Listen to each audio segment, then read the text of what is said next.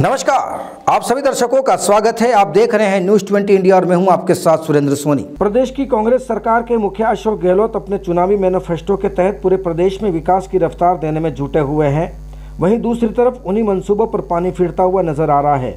राजस्थान के बांसवाड़ा जिला मुख्यालय पर स्थित नगर परिषद इन दिनों बांसवाड़ा मुख्यालय को स्वच्छ एवं सुंदर और पर्यटकों को लुभाने वाली नई नई योजनाओं के विकास की रफ्तार देने को लेकर बड़े बड़े दावों को सोशल मीडिया के माध्यम से प्रचार और प्रसार किया जा रहा है।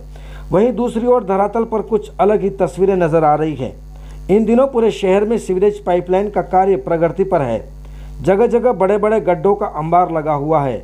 वहीं दूसरी तरफ़ बेहाल सड़कें आमजन का सिर दर्द बनती जा रही है। जिस कंपनी को सीवरेज लाइन का वर्क ऑर्डर जारी किया है, उसी फर्म के द्वारा सीवरेज का कार्य प्रगति पर चलाया जा रहा है। जहाँ पाइपलाइन का कार्य पूर्ण हो चुका है, वहाँ की सड़कें बड़े बड़े गड्ढों में तब्दील होती नज़र आ रही है।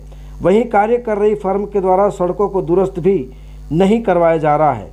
दूसरी ओर नगर परिषद के द्वारा बने रंगमंच परिसर में इन दिनों शराबियों का अड्डा बन चुका है। शाम ढलते ही शराबी और जुआरी जमघट लगाते हैं और अयाशी करने जैसी खबरें सामने आ रही है।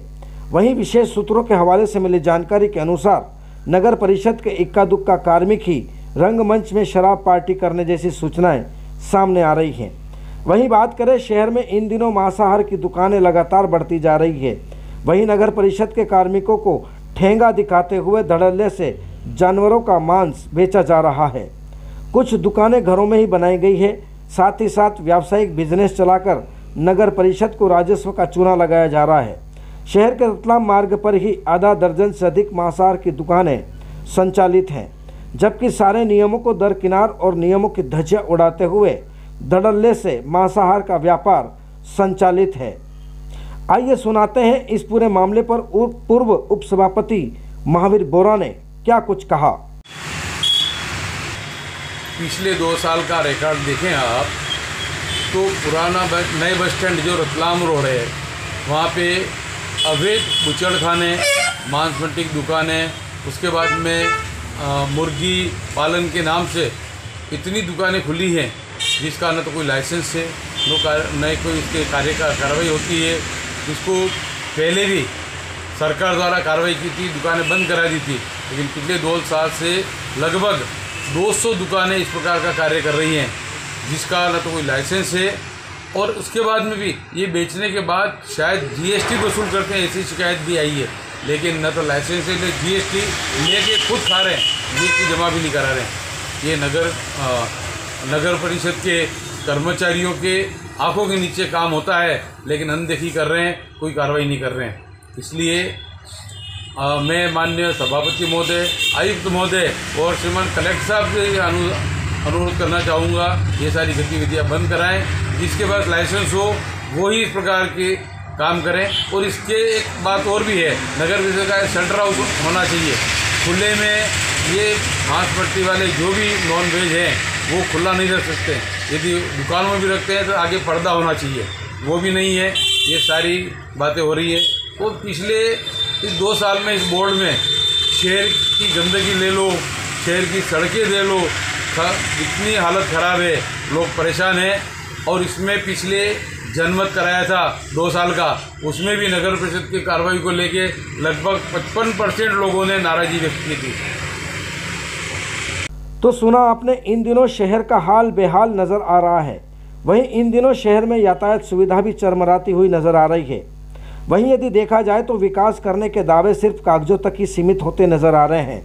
वहीं इस पूरे मामले को लेकर नगर परिषद आयुक्त प्रभुलाल भापोर से सवाल जवाब जानना चाहा तो माननीय महोदय उखड़ गए। वहीं आयुक्त महोदय ने इस गंभीर विषय पर जवाब देना भी मुनासिब नहीं समझा और अपनी जिम्मेदारियों से पल्ला झाड़ते हुए जिम्मेदार होकर भी गैर जिम्मेदाराना जवाब देते नज़र आए और कैमरे के सामने अपना मुँह छिपाते हुए पल्ला झाड़ दिया। इस वक्त तमाम अपडेट के साथ नगर सभापति जैनेन्द्र त्रिवेदी हमारे साथ जुड़ चुके हैं। सर सबसे पहले आपका चैनल में स्वागत है। जी सर। सर लगातार सर सूत्रों के हवाले से खबर मिली है कि इन दिनों नगर परिषद का रंगमंच अयाशी और शराबियों का अड्डा बन चुका है। क्या कहेंगे रंगमंच? रंगमंच? जी। ऐसा तो कोई बात नहीं है। मेरे पास तो कोई ऐसी बात आई नहीं। जी। तो आई है कुछ सबूत तो दो कार्रवाई करेंगे जो कर रहे हैं उनके खिलाफ। जी। सर मेरा दूसरा सवाल ये था कि जिस तरीके से लगातार आप शहर को सुंदर भी बना रहे हैं बट जहाँ पे खुदाई हुई है वहाँ पर रोडों की काफ़ी गंभीर समस्या आ रही है जिससे आमजन काफ़ी परेशान हो रहा है। सर कब तक जनता को निजात मिल पाएगी? ऐसा है कि कोई अगर प्रोजेक्ट चलता है अभी आप उदयपुर देखो पूरा स्मार्ट सिटी खुदा हुआ पड़ा हुआ जी। एक रोड खुदता है सीवरेज की लाइन वापिस खुदेगा उसके बाद पानी की लाइन डलेगी। तीसरी बार फिर खुदेगा पानी के कनेक्शन होगा। चौथी बार फिर खुदेगा तो सीवरेज की लाइन डलेगी जी। फिर भी प्रोसेस होने में चार बार रोड जी। तो होने में कम से कम एक महीना लगता ही। है। बिल्कुल बिल्कुल सर। हाँ, इस बात पर मैं सहमत हूँ। सर एक आखिरी और अंतिम सवाल की जिस जिस तरीके से विनोद टॉकीज का मामला हर बार उठा भी था मुद्दा भी उठा था उसकी जाँच के लिए आ, सर आपने कमेटी भी बनाई है लेकिन ये वही अधिकारी है जिन्होंने नियम को दरकिनार करते हुए परमिशन दी थी और उन्हीं अधिकारियों को जाँच कमेटी का सदस्य बनाया है। तो सर ये जाँच क्या निष्पक्ष हो पाएगी? क्या राहत मिल पाएगी? जाँच कमेटी बनाई उसकी रिपोर्ट आएगी दोषी लोगों में कार्रवाई होगी। रिपोर्ट आने दो एक बार इंतज़ार करो। कोर्ट ने तत्काल पारित किया था कि भाई जाँच कमेटी बनाओ बना दिया। सर आपको लग रहा है कि सर इससे कहीं ना कहीं नगर परिषद को राजस्व का नुकसान हुआ है या हो रहा है? वो तो कमेटी की रिपोर्ट आएगी जिन पॉइंटों पे हमने दिया है उनकी रिपोर्ट आने के बाद हम इसको भेजेंगे जयपुर के लिए। सर एक आखिरी भेजेंगे डायरेक्टर। जी जी बिल्कुल। सर सर मेरा आखिरी सवाल रहेगा कि सर शहर में लगातार जो है वो आ, मटन और नॉनवेज की दुकानें लगातार बढ़ती जा रही हैं लेकिन सबसे बड़ा सवाल ये है कि वो दुकानें जो हैं वो घर में संचालित है। तो एक तरफ़ कॉमर्शियल और एक तरफ़ बिज़नेस तो सर इससे कहीं ना कहीं नुकसान हो रहा राजस्व का। सर इसको लेकर के क्या विशेष रणनीति रहेगी आपकी? अभी बहुत जल्दी हम शहर में अभियान चला अतिक्रमण मुक्त वाला उसमें आपको सब कार्रवाई दिखेगी इसमें। हम बहुत बड़े एक्शन लेने वाले हैं। बहुत जल्दी हमारा अभियान चालू हो। तमाम अपडेट के लिए जानकारी देने के लिए बहुत बहुत धन्यवाद सर। तो सुना आपने सभापति का दावा वहीं दूसरी ओर शहर हाल बेहाल पर शहर के कुछ जागरूक नागरिकों ने भी अपनी प्रतिक्रियाएँ दी।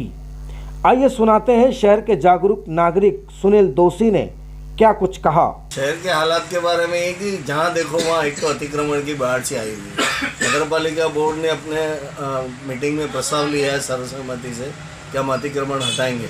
पता नहीं कि अतिक्रमण कब सड़क से हटेंगे यहाँ एजाज पोल्ट्री फार्म का मुख्य मार्ग पर जिसकी उसकी दुकान की साइज़ ने उससे तीन गुना उसका सड़कों पर अतिक्रमण और वो वहाँ सरे राम शटलर हाउस लगा रखा है जबकि आबादी क्षेत्र में शटलर हाउस चलाया नहीं जा सकता है।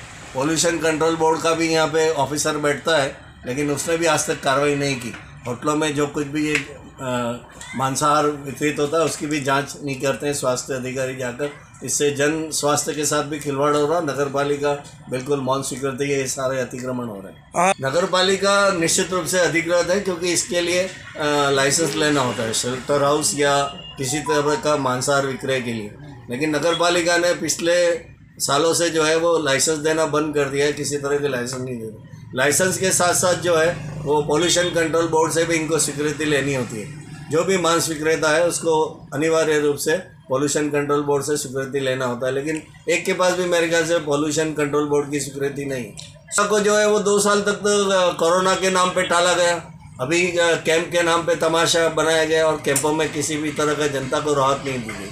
और अभी फिर से जो है, वो कर रहे कर रहे करके कागजों में कैंप दौड़ रहे। आज तक धरातल पे लोगों को पट्टे वितरित नहीं किए गए। धरातल पे लोगों के आवास का जो सिक्योरिटियाँ थी उनका पैसों का वितरण नहीं हो रहा। है काफ़ी लोगों को परेशानी आ रही है नगर परिषद से लेकिन जो सर आयुक्त जो है वो गैर जिम्मेदाराना जवाब देते नज़र आते हैं। सर ये अक्सर देखा जाता है ऐसा क्या है? आयुक्त का ऐसा है कि आयुक्त के हाथ में कुछ नहीं है। सारी जो नगर पालिका की कमान है वो बाबुओं के हाथ में है। वो जो तय करते हैं वही चल रहा है।